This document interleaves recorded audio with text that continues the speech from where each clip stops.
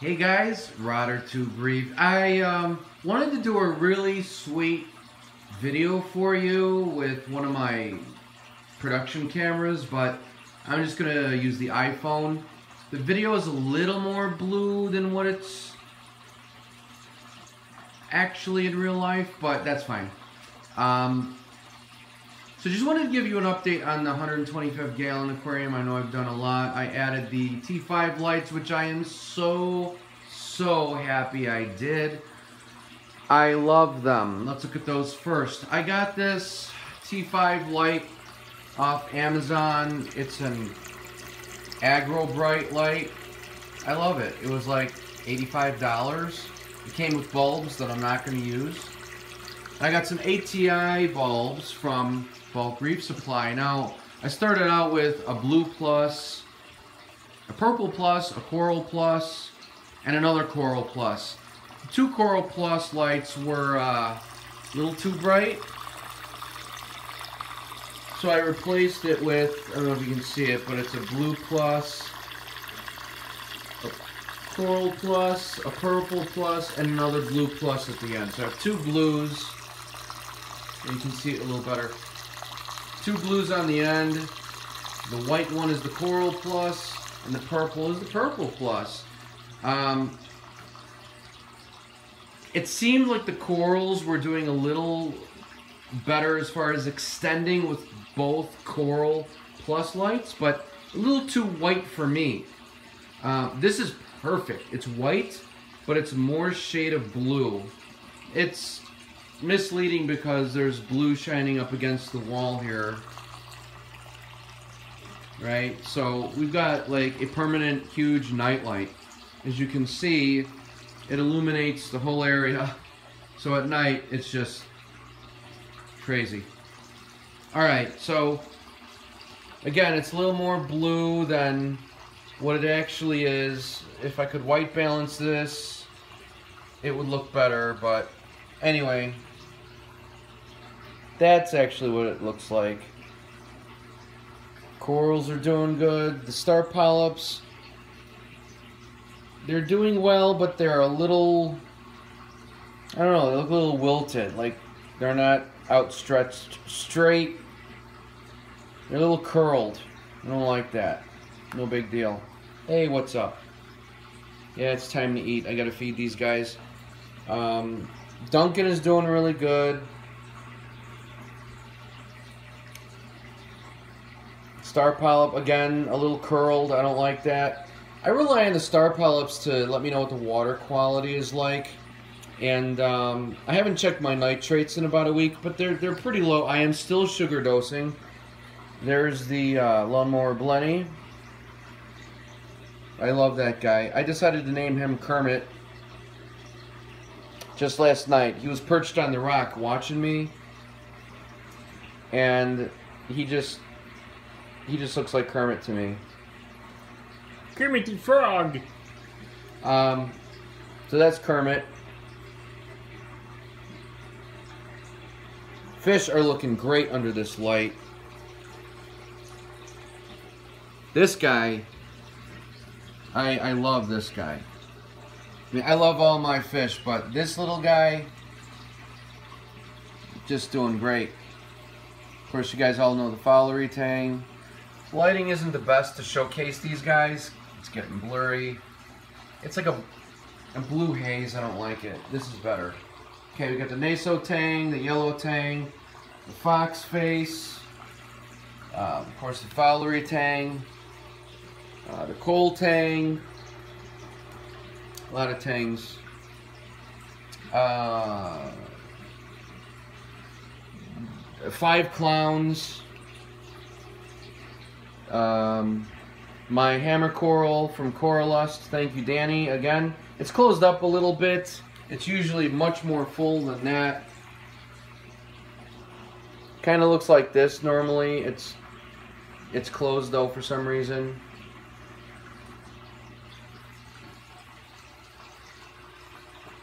I can't stand this video. It looks like really blue. It's not this blue again, I stress.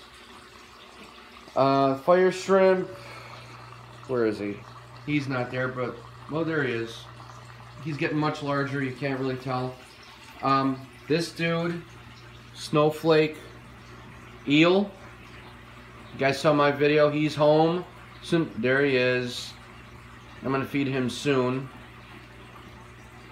As soon as I put him in here last night, he went right to this huge rock, and there was all this dust kick up or sand kicking up from back here. He burrowed underneath this rock. So this is going to be his home, which makes it easy to feed him. I got some long metal skewers. I'm going to feed him shrimp before bedtime. He's only been in there a day, so he's still nervous. There's Kermit.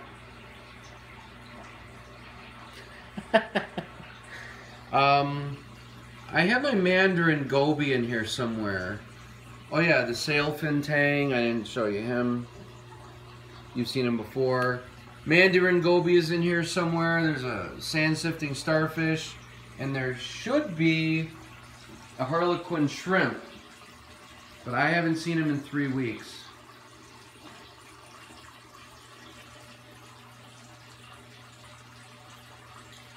The tank looks like a nice baby blue with some bright light. It's just not picking up that well with the iPhone. I, I apologize. Really bothers me when I... Oh, there he is. Dude always hides out when I bring out the camera. There he is. He's doing really well. Um, that's it. I got these lights. I'm still lazy. I have the lights suspended by zip ties. I did get, um, they call it airline cabling. It supports up to 1,500 pounds. It's very thin. I bought it a week ago. I'm too lazy. I have not, you know, set it up yet because this is working fine. I don't really care. Again, I'm lazy. So there's the tank.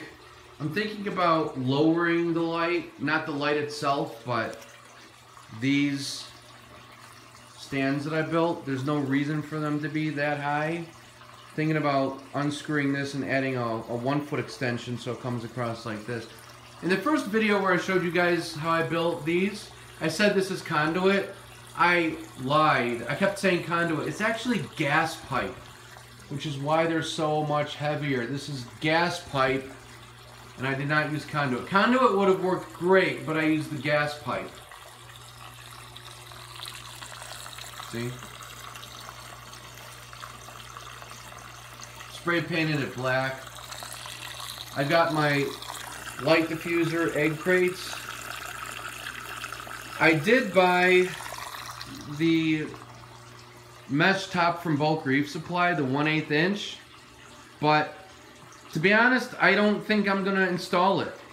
Mainly because I am lazy and I don't want to risk the snowflake eel jumping out because they are escape artists and I'm afraid he's gonna push up on that netting and get out.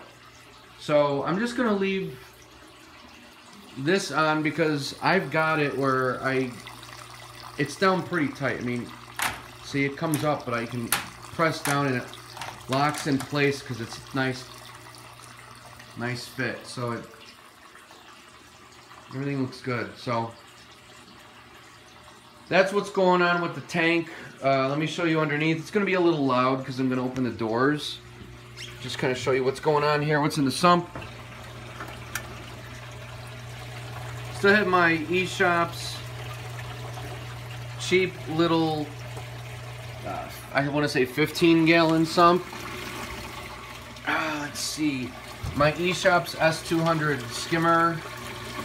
My rotter tube the water comes in from both overflows. It goes through my three inch clear rotter tube, which is filled with um, foam. So that takes out a lot of debris in the tank. And then I have another foam right here. Or filter floss, whatever I feel like, to catch what's going on. So my sump is pretty clean. I removed one of the rocks from the tank to give the fish more swimming space. I would have taken it out completely, but it's a shame to not have that bacteria in the tank, so I threw it in the sump. Even though I don't like having anything in the sump, I just put it in there. That big rock used to be right here. Now there's a lot more swimming space for the fish. Um, that's it. I'm not running any carbon or anything. It's just simple rotter tube to catch the debris, mechanical filtration. Goes into the sump, gets picked up by the protein skimmer. And then I got water polishing used by these foam. I just usually cut it like three inches by 12 inches. And I just lay it in there and I change it out every three days. Really inexpensive to do.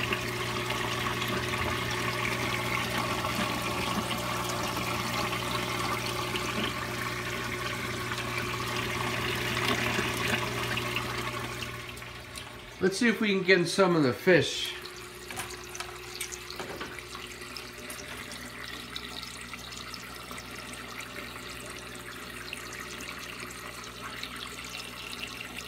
Hey, you guys. Hey, you guys. what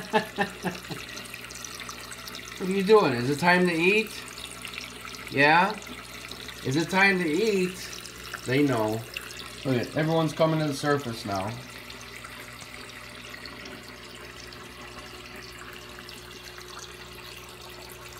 Alright, I'm gonna feed these guys. Thanks for watching. Sorry the video quality is so blue. I'll do a really nice video for you guys. Um, with the other camera, but I just wanted to get a quick, give you guys like a quick look.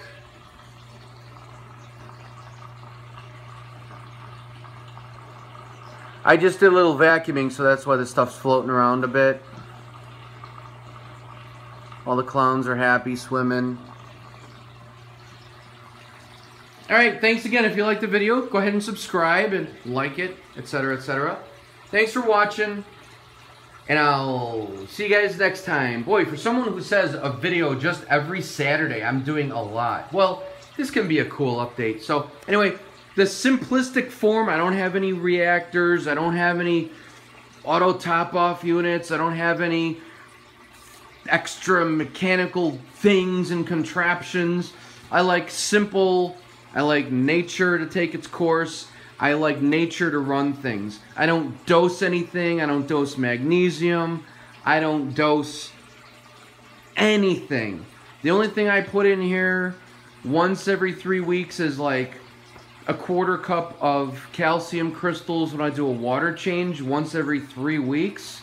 And I only do that because my purple rock is coralline algae and that stuff thrives on the calcium. You gotta have the calcium and I keep my calcium at 450 to 500. I don't know what it is now. I haven't tested anything in a couple weeks, but everything's doing well. Last time I tested nitrates, they were about 10 and that was two weeks ago. So, um, by the way, the type of filtration I'm running with just a simple mechanical filtration and a protein skimmer or sump sock, but I hate those. But that's called a Berlin filtration where it's all natural. Um, that's it, simple. I was gonna get a new sump, like I told you guys, but this is working great. I don't need the extra water volume. I don't have a refugium algae scrubber, reactors. I got nothing. Just Mother Nature, you know? And it's, it's going really well. I'm not against those things. I just like simplicity. Um, I do, boy, I'll tell you, I had the glass lids on top of the aquarium, and I hate them. I like these so much more. They're so much easier to work with. Look how light they are. I just put them right back on top. I'm not going to press them down because I'm going to feed these guys. But look at it, it looks good. Sure, they diffuse the light a little bit, but that's okay. Um, but I'm telling you, I lose about one gallon to one and a half gallons of water a day. I go through a lot of water, but I haven't noticed an increase in the water bill, so that's good. But man, I was topping off maybe a gallon every three days when I had the glass tops on, but because this is wide open, I'm losing a gallon and a half a day. Easy. So I come home, I put a gallon in. I go to bed, I put half a gallon in. It's crazy, you guys. But I don't mind. I gotta feed them every day. I'll put water in every day. I'd rather not have an auto top off unit because I've heard horror stories about them. Either they malfunction and then it overfills your sump. I, I just don't need that. And, and I, I, like simple. I'll do everything that I need to do manually um, within reason. But that's why I've got simple, simple, simple. Um, that's all I've got for you now. Sorry the video is a little longer, but I just wanted to give you an update and share what's up. Alright? Thank you so much for watching. I love the comments and I love responding to them. Take care, you guys, and I'll see you later. I gotta feed these guys because they're waiting for me.